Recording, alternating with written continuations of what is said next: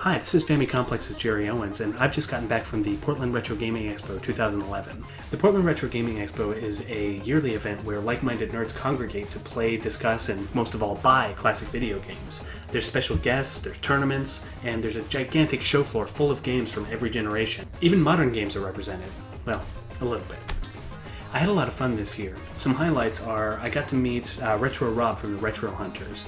He is one hell of a great guy. Pat the NES Punk was in attendance as well and showed off his newest video review before it was available to see on his website, which was kind of cool. There was also a Nintendo World Championships tournament, which I was actually trying out for. I actually put in a lot of practice, and when it came right down to it, I got to the Tetris part, I completely bombed. So, for the expo this year, I saved up $320, which is a lot to spend on classic video games. So, I'm sure what you want to see isn't me babbling on about the Retro Gaming Expo. What you want to see is what $320 worth of video games looks like. So, without further ado, here are my pickups. Alright, systems.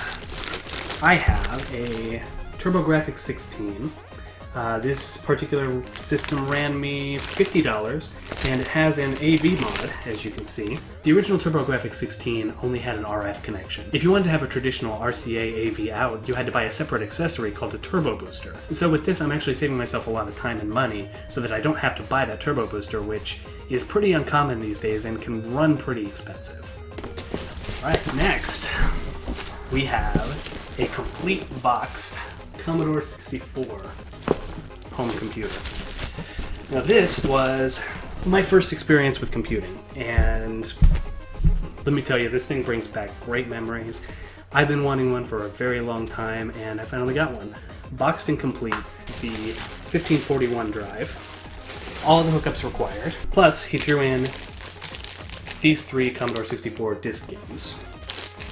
I picked up a Dreamcast VMU. Finally, I can play some Dreamcast games. Picked up a Nintendo Game Genie. Finally picked up some Atari paddle controllers. Picked up a gamepad for the CDI. Picked up a Skyshark manual.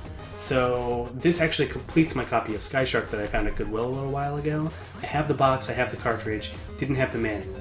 This was actually given to me free by the booth that sold me the TurboGrafx 16 system. We'll start with the Super Nintendo because it's on top.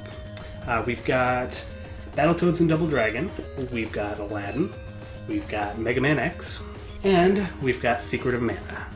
For Nintendo games, we've got Bubble Bobble, Shadowgate, Kirby's Adventure, Pictionary, Mappyland, and a boxed complete copy of Crystalis. If you've never played this game, you should. This game is awesome.